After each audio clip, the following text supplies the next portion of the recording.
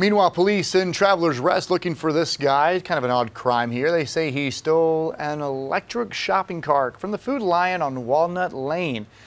Uh, if you happen to recognize that truck or you recognize him, you can see looks like a Georgia hat on, Georgia Bulldogs. You might want to call TR Police. So, again, if your friend's a Georgia fan and has an electric golf cart now, it's probably going to be your suspect.